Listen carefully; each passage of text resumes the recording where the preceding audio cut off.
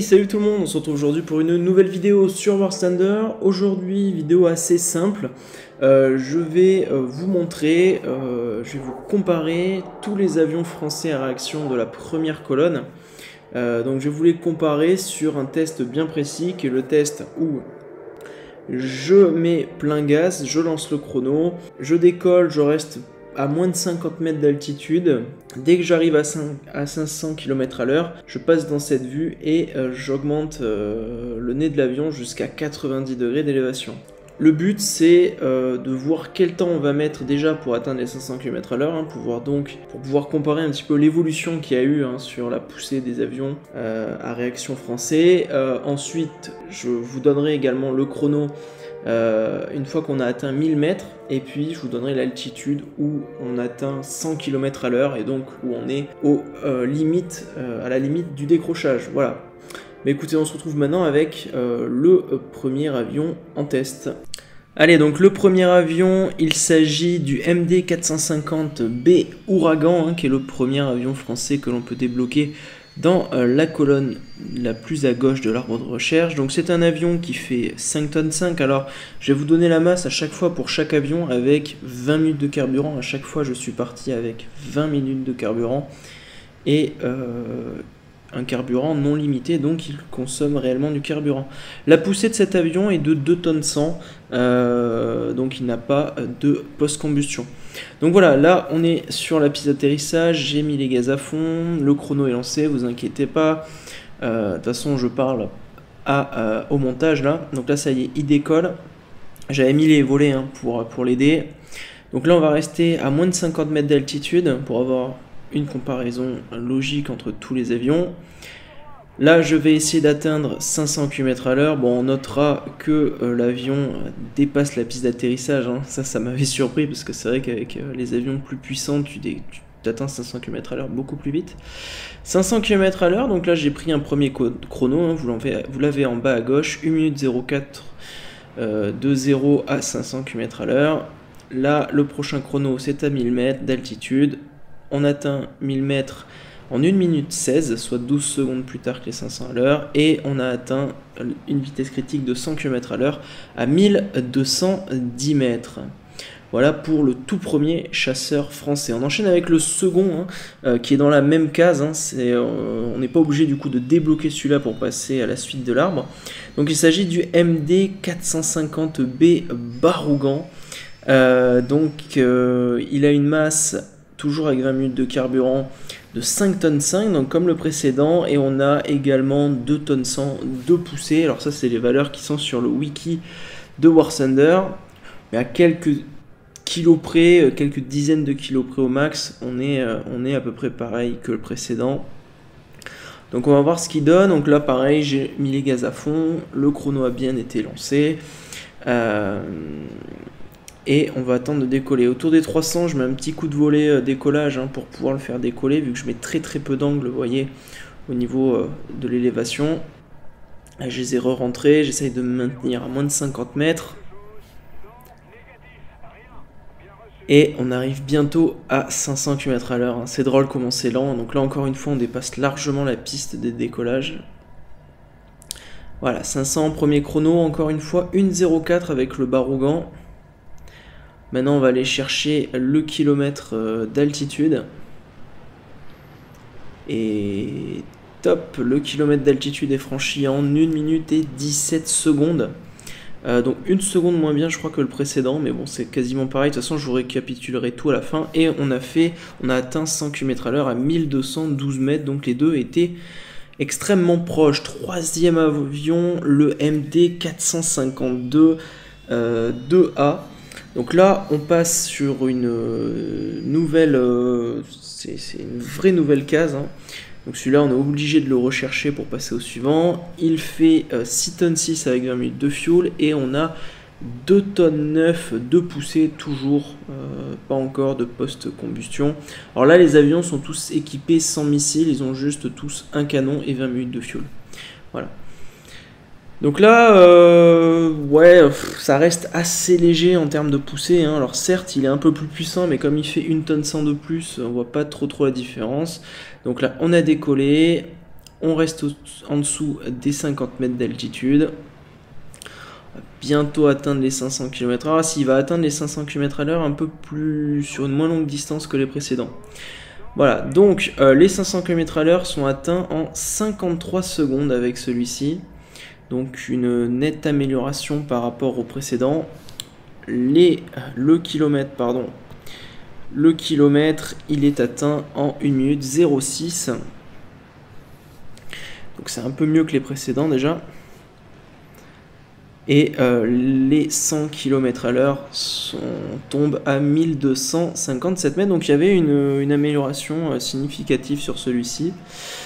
Euh, quatrième avion, si je ne me trompe pas, donc là c'est juste une amélioration du précédent, donc vous n'êtes pas non plus obligé de le débloquer pour passer au suivant. Il s'agit du MD 452 2C.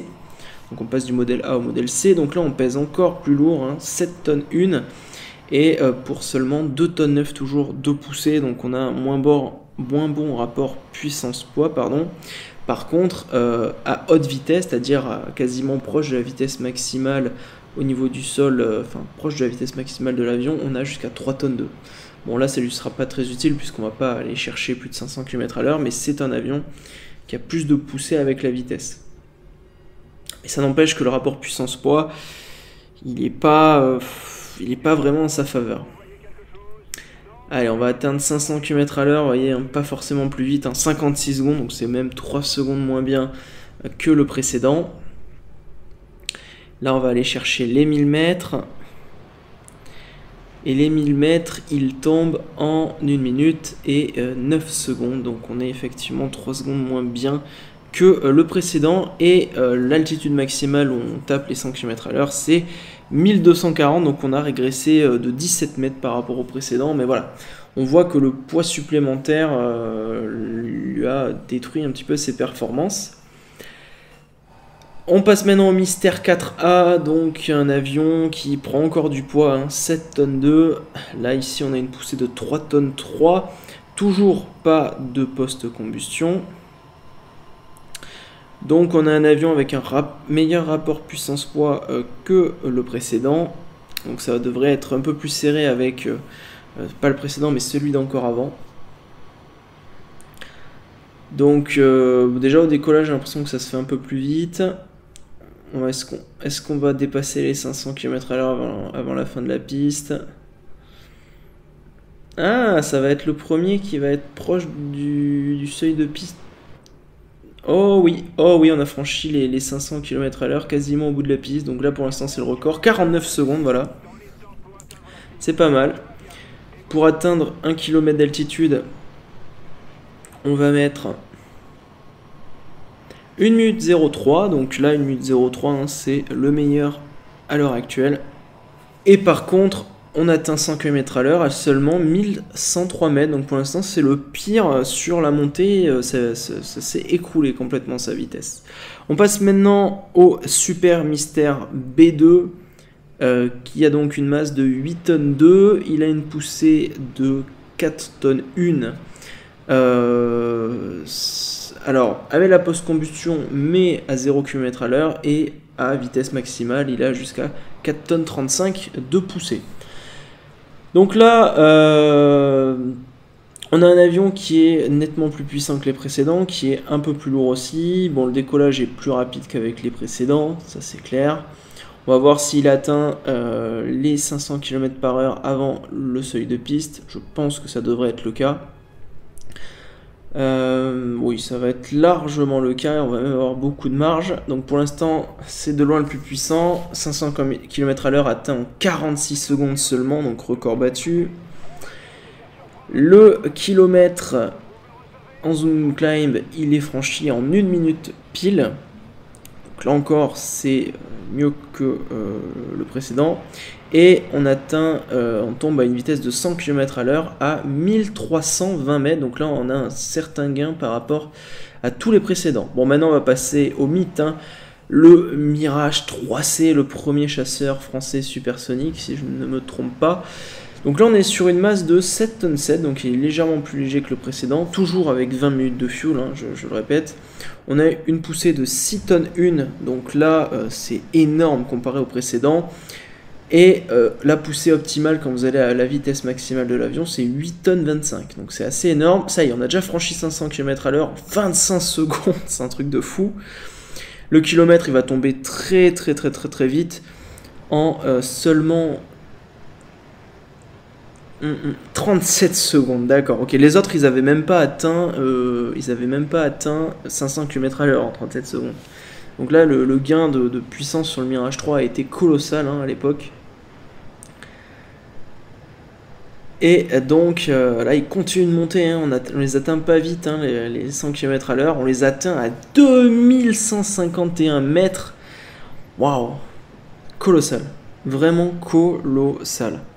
On va passer au Mirage 3E. Donc le Mirage 3E qui est une amélioration surtout euh, de l'avionique euh, et des technologies par rapport au Mirage 3C.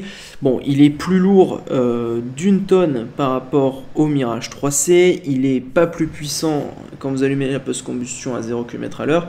Par contre, à vitesse maximale, il a autour des 400 kg de plus en termes de poussée. Mais bon, il faut aller à plus de 1000 km à l'heure pour avoir ce vrai surplus de, puissance. 500 km à l'heure déjà atteint, 28 secondes, hein, c'est moins bien que le Mirage 3C. De toute façon, vous inquiétez pas, on va tout récapituler, on va faire un récapitulatif pardon, à la fin dans un tableau Excel.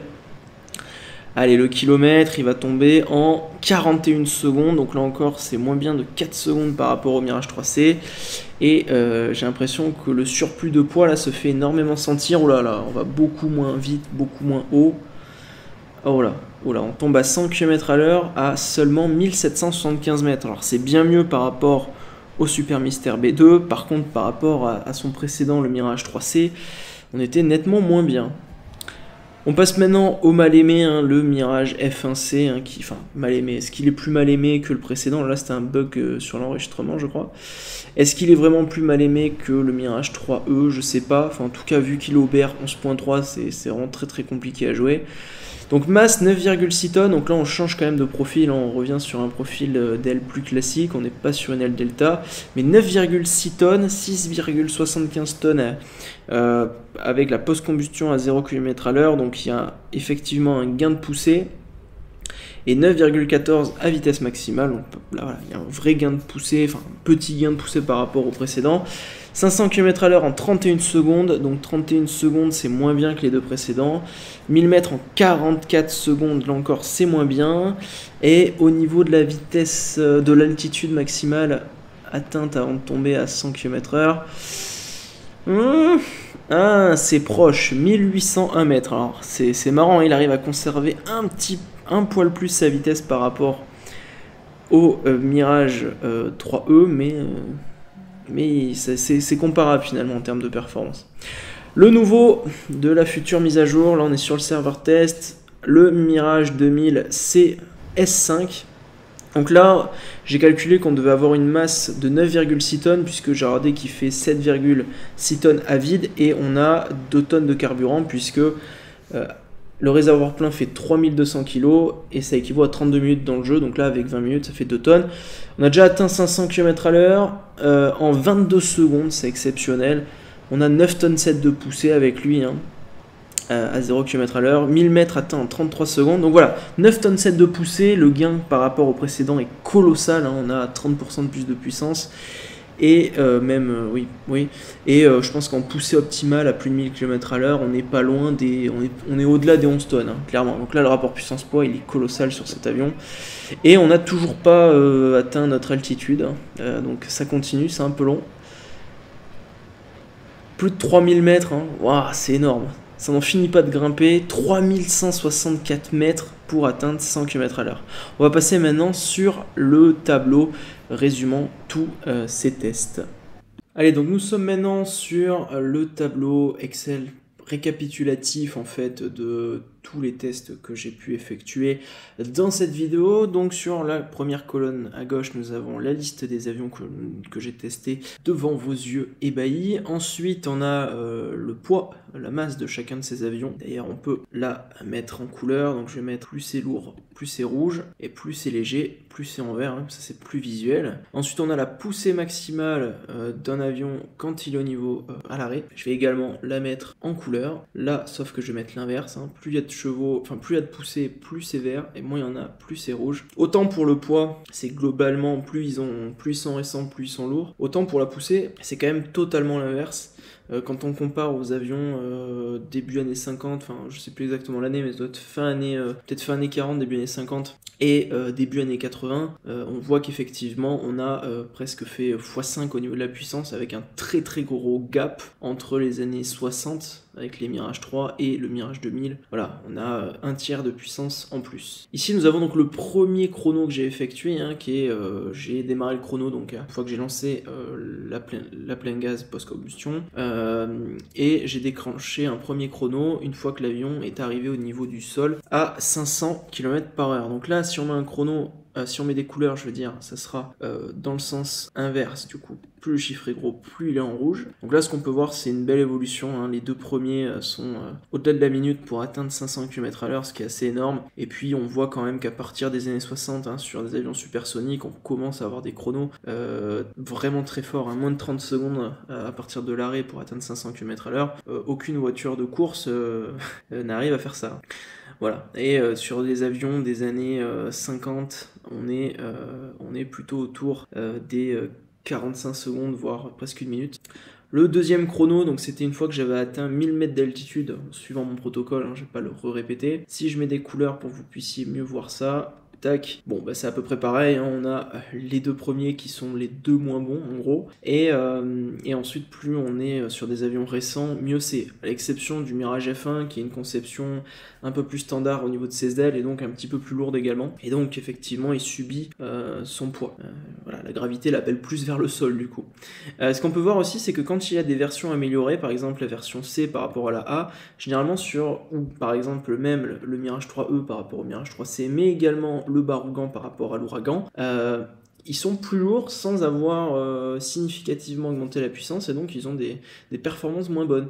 Euh, voilà, ils auraient peut-être dû améliorer aussi les performances quand ils ont mis des équipements en plus. Et puis, dernière statistique, l'altitude maximale atteinte avant de tomber en dessous de 100 km à l'heure. Donc là, c'est comme ça. Et là, bah, on a une surprise en plein milieu. On a le Mystère 4A qui, qui cale complètement au niveau au niveau de l'altitude max qu'il peut atteindre. Autant euh, sur du plat, il est pas mauvais, il est même très bon. Hein. Autant euh, pour prendre de l'altitude, je sais pas ce qui lui arrive, euh, mais il perd toute sa vitesse.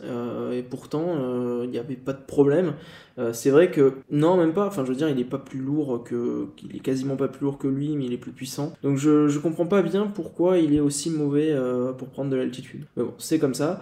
Euh, et sinon, on peut voir que le Mirage 3 était excellent, que le, le, Mirage 3E, qui est sa version améliorée, mais, mais qui du coup est beaucoup plus lourde, bah ça dégrade beaucoup ses performances. Hein. Quand même, la différence est assez énorme. Hein. On perd quasiment 400 mètres entre du, du C au E. Donc là, vous voyez clairement la différence de puissance. C'est quand même très parlant. Enfin, la différence de performance est quand même très très parlante. Hein. Et puis on a le Mirage F1C hein, qui est un poil meilleur que le E, mais enfin voilà. Euh, c'est clair que quand euh, moi j'ai pris le que je vous ai fait les vidéos sur le le F1C, le Mirage F1C, je me suis pas dit waouh quoi, et pourtant on était en BR 11.3, alors je me suis dit ok on va avoir le pire BR 11.3 en termes de performance, bah ouais c'est clair, euh, on est, même pas au niveau d'un avion début des années 60, de la même nation en plus. C'est vrai que le Mirage F1C, après c'est pas tout à fait la même catégorie d'avion que les, que les Mirage 3 et 2000. Enfin, c'est une conception complètement différente. Donc, euh, donc voilà. Mais c'est vrai que pour un avion sorti en 73, quand on compare au F-14 américain, je pense que le F-14 américain, il est nettement au-dessus de ça. Hein. Là, il n'y a, a, pas de doute. Bref, donc voilà.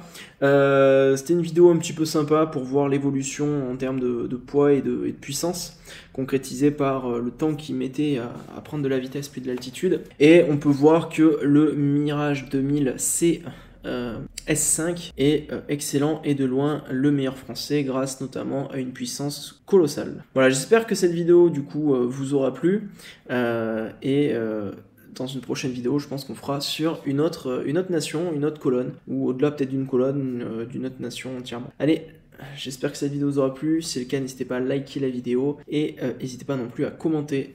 Ciao tout le monde